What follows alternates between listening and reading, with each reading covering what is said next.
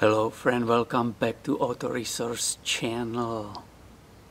In different video on this channel I showed you how to diagnose problem with the Honda Mover which didn't want to start. In this video you can watch me repairing the problem and making sure that that mower will start again even if it will sit for maybe four weeks. Okay, my next step will be the checking the situation inside of the gas tank. So I will open this filler and using my small light here I will be looking inside.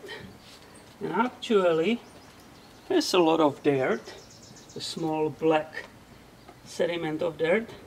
And I can see also and I cannot film it for you but there is a filter. There is the first fuel filter before the line leaves the carburetor. So I'm going I'm going go ahead and get rid of the dirt but in this case I have to remove the top remove the gas tank that I'm able to pour it out. All that dirt get rid of it. First thing I will go and go ahead and shut off that fuel line. Using 10 millimeter socket I will go ahead and remove these three nuts. One two and three that lets me to move away the starting part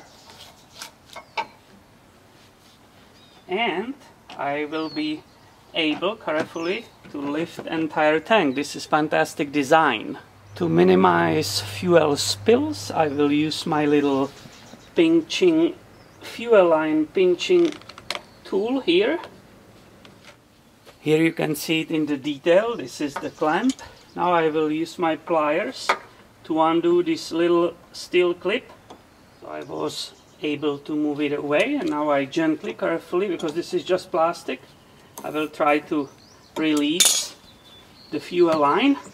And again, carefully holding the valve, I will try to disconnect it from the valve. Once again, being very careful.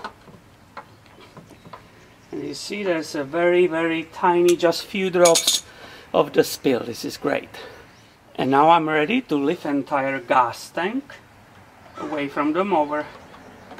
And I have no fuel spills anywhere. And this is basically, you can see this is the detail of the gas tank and the filter is inside. I would like to see how easily the fuel is moving out of the gas tank through this first line. So I will go ahead and release this clamp and see how good flow I have there. Oh, there's definitely no problem. The fuel is running very nicely. I will install my clamp back.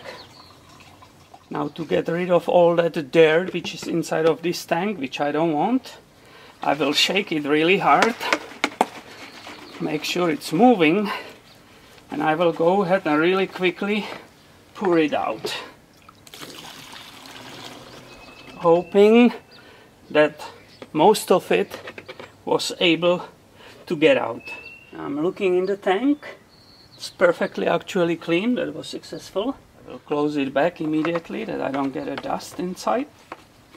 And I will put it aside the next problem could be within this fuel shut-off valve and in order to make absolutely sure it will run correctly three weeks later I need to test it.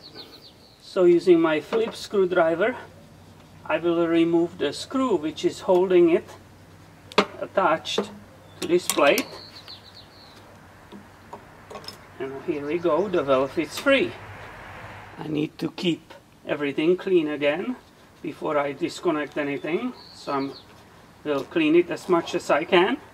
And there is the same steel clamp on the line which I have to move backwards in order to be able to move this line off. It just happened. Here we go.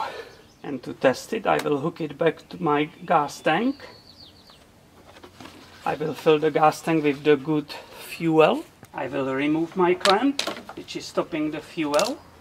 And I want to see that that fuel is running out of this valve with the same speed like it was running out of the hose only. So I will open it and look, it's running really good. So the valve is working properly and there's no problem within the valve. And I will choose to install this valve back. And I will not mount it back yet.